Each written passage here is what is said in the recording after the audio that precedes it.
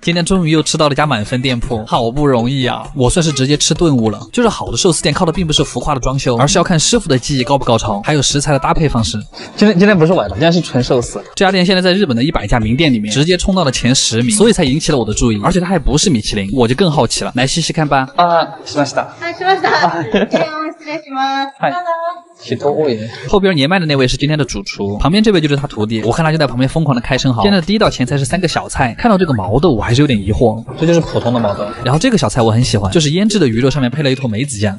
哦。就是梅子味道的腌鱼，特别爽口。接下来的刺身还挺有仪式感，就是师傅切好了之后会一片片放在你面前。第一个是鲷鱼卷的什么什么草，草本味很重，吃起来很清新，翅背就很有嚼劲了。我称它为荤海带，你们懂那个口感吧？脆嫩脆嫩的。然后这个应该是青花鱼，它的做法很不一样，很浓的烟熏味，就像那个干木柴烧起来的味道，搭配着一点小葱，特别香。然后是老朋友茶碗蒸蛋，料都是藏在下面的，是扇贝肉和鸡腿肉。老朋友还是这么好吃。然后接下来上了一份我巨吃不来的菜，生的生蚝。不过还好的是它没有很腥。但我就想问，你们喜欢吃生的生蚝吗？我我反正有点吃力。就是生蚝的味道。幸好下一道菜是个熟菜，煮的金木雕和一些蔬菜。看到金木雕像看到了救星，这种小鲜笋也很好吃。吃完这个就正式进入我们的寿司环节了。这种看着自己的寿司一个个做出来的感觉还真不一样。第一个我以为它是某种鲷鱼，然而它并不是，因为这个寿司油巨多，甚至还有点和牛的味道，脂肪好多啊。此个奥托罗的锅仔吗？斯奥托罗就是金枪鱼脸上最肥的那个部位，它真的很肥美，但是一点都不油腻，而且师傅还在上面刷了一层甜酱，所以那个金枪鱼脂肪的味道就变得更加的鲜美了。接下来这个是柠檬章鱼寿司，章鱼本身是没什么味道的，但把它烤了之后再配上一点柠檬，口感真。的提升了很多，然后这个青花鱼还很惊喜，它上面有一层果冻，那个是无花果口味的，又吃到了清奇的搭配。接下来就是海胆寿司了，第一个是蟹肉海胆寿司，长得就非常的好看，感觉蟹肉好多呀，海胆也是刚才才掏出来的，你吃的时候还得用手把它推进去。然后这个是海胆卷，虽然其实并不用一口吃，但我就是想体验一下海胆充满整个口腔的感觉，过瘾。接下来是金枪鱼的秋托喽，没有刚才的奥托罗那么肥美，但是口感更好。这个好像是烤某种贝类，吃起来微微泛甜，好吃。最后又给我们上了一份厚蛋烧和一份金枪鱼刺身，哇，这两个吃完就已经饱了。然而没想到的是，压轴还来了一份烤鲍鱼。甜品的话是抹茶和巧克力大福。这家店我还能说什么？ID 推荐指数十分，就是不同。卡玩意儿。时隔了整整两个月，我总算是吃到了家满分推荐的店铺，而且它还是那种怀石关东煮，是不是感觉听起来就很装逼？那我们作为东京的关东煮杀手，那肯定是要来看一下，它要是不好吃，这个米其林绝对是假的。关东煮拼的就是这个汤，其实巨鲜。家店在东京的麻布十番，就是也算是日本的一个富人区了。然后我就很好奇，这个地方的房租能有多贵？我们随便去找家不动产看看。二十二万、二十四万，基本上房租就是我家的三倍，这也可以的。我们还是吃饭吧。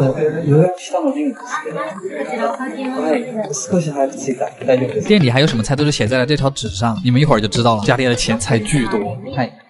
第一盘是五六七八种小菜，这真的太怀石了，一点都不像是来吃关东煮的感觉。最左边是一个小虾和一个栗子，这就是标准的秋天的甜味。然后是一小碗松果芝麻酱，松果还是炒了一下的那种，还可以。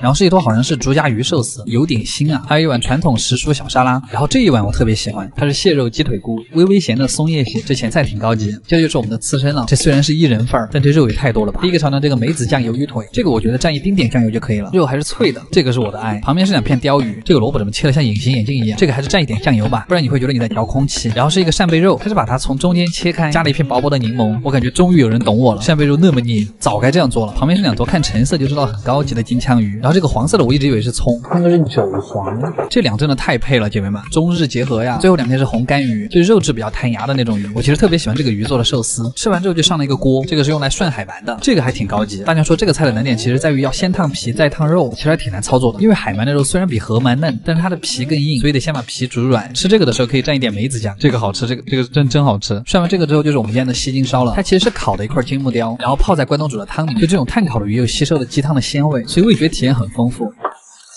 吃完这个，终于到了我们今天的主菜。第一个关东煮就是王牌大羹，这里居然是一个菜一个盘子的端上来，不愧是米其林关东煮啊！上面撒的是木鱼、葱、山药丝，还有黑胡椒粉。你就承认吧，这个真的比便利店的好吃太多了。这吸水量，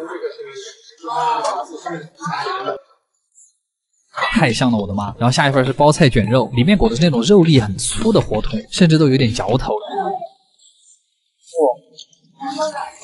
而且这一份关东煮的汤汁特别好，我想问他单独要一碗那个关东煮的汤，然后是一份鸡蛋，他是已经帮你把黄芥末放到了鸡蛋的边上。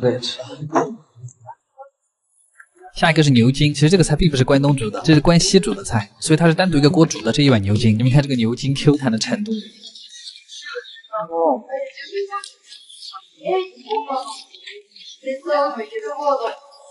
一点点柠檬的香味，加上牛筋脂肪的味道，然后这种味道在你的嘴巴里到处弹。这样最好吃了。最后是一份鸡肉丸子，其实还有很多菜，我只是没拍，只挑了四个我最喜欢的。鸡肉丸子嘛，面粉和胡椒的比例刚刚好，这个也是 Q 弹的，当然里面肯定是有一些脆骨的。最后的主食就是一碗汤泡饭，关东煮的汤就是咸菜一块吃，非常的接地气。甜品是红豆沙糕，加一碗苦到死的抹茶，完美的落幕啊！这家店真的是太让我惊喜，不知不觉中就把它吹爆了。阿基推荐指数十分，下周再来啊！卡玩意儿。这家店居然在烤和牛里面包了一整个生蚝，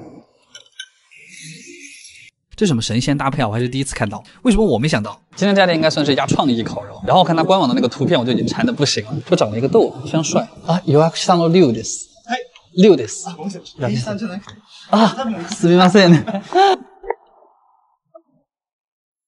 第一个前菜是香肠火腿午餐肉，但是午餐肉除了煮火锅还有别的吃法吗？第二个是两片熏制的香肠，第三个很好吃，它就是那种吃进去是火腿的味道，但它其实是午餐肉，心机的撒了一点黑胡椒。然后还有一个小菜是番茄牛腩，我发现这种番茄的酸甜味能够瞬间把你的胃唤醒，感觉现在的我就是一个吃牛战士。我们的第一盘肉也端上来了，像这种店一般都不会让顾客自己烤，师傅先是刷了一层牛油，然后烤上了我们今天的第一盘，也是唯一的一盘五花肉。听着五花肉冒油的声音就很解压。他烤的这块其实是比较偏瘦的五花肉，师傅烤的刚刚好，所以嚼起来很有劲道。接下来就是牛肉的部分了，这里面最好的是下面的那块肉，就是大腿连接肚子的那块肉，非常小的那个区域，所以它很少也很贵。师傅说可以配上这种专门用来蘸牛肉的酱油，滴上几滴就可以吃了。它吃起来其实很扎实，但是又很有弹性，这就是稀少部位带来的快乐。不过看就是这块超大的里脊肉，这块肉的脂肪很少，然后师傅把它烤的特别的软，所以我就好奇的问了一下师傅，为什么我们自己烤肉烤不到这么好？师傅就拿出了他的一个笔记本，上面的笔记真的是特别的可爱，什么烤肉的水封传理论，算了我。估计学不会。你们看它这个色泽，这个必须承认，这太有差距了。对了，如果你是那种吃烤肉特别容易腻的人，你其实可以在上面加一点山葵。这样你吃十坨都不会腻，蘸一点盐也很香。接下来这个是牛的横膈膜肉，比较常见的一个部位，一个字总结就是甜。这个也可以加一点刚才那个酱油，肉质香甜还是挺不错的。接着就是我们今天的主角了，看到这个正在慢慢变鼓的肉包子了没？隔它一米远都能闻到喷出的海鲜味儿。和牛的油本来就很多，烤出来的油会把生蚝死死包住，摊开的一瞬间我都惊了，里面的生蚝还是一个稚嫩的状态。然后师傅会给每一块都单独滴上烤肉酱，全熟成的和牛加上饱满多汁的生蚝，甚至想写一篇满分作文来赞颂它。废话不多说，赶紧尝一口。我。